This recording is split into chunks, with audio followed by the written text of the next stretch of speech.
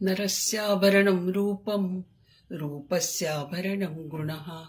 गुणस्याभरणं ज्ञानं ज्ञानस्याभरणं क्षमा।